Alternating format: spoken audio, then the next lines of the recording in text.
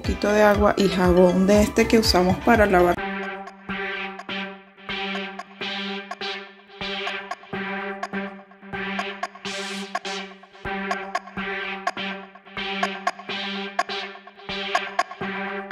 Y con eso vamos a proceder, los dejamos remojando un ratito nada más. Recuerden que esto es, es baño en su mayoría y los alambres tampoco es que pueden tener mucho tiempo sumergidos en el agua. Pero no pasa nada si lo hacen por lo menos una vez, así cuando sientan que ya los accesorios están un poquito sucios.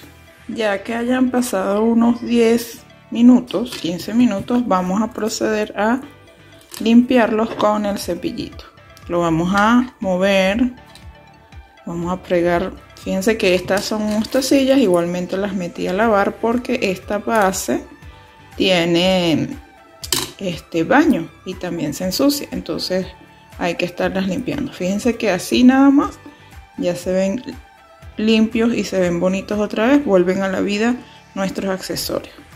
Luego lo que vamos a hacer es con un pañito le vamos a retirar el jabón, el agua con jabón con un poquito de agua limpia, vamos a quitar el agua de jabón y los vamos a secar con un pañito de estos de algodón o un paño de estos que tenemos que usamos para limpiarnos las manos.